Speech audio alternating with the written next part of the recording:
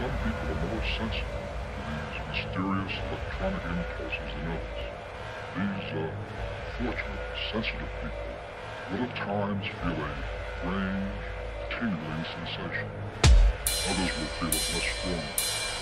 Don't be alarmed, you can protect yourself. At any time you are conscious of a tingling sensation, you may obtain immediate relief by screaming.